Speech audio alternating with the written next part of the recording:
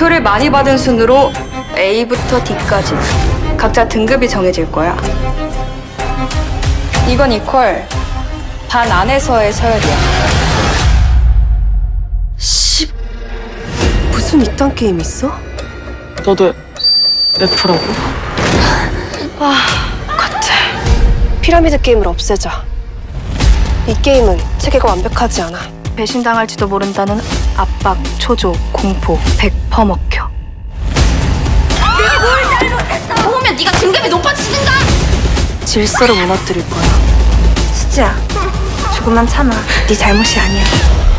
왜 이딴 게임을 하는 걸까 처음부터 이상했는데 괜찮아?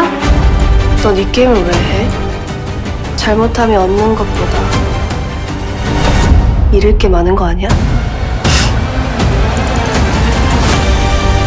계속된다.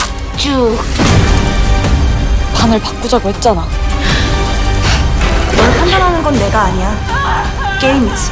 난 그럼 그냥 피라미드를 쳐 부술게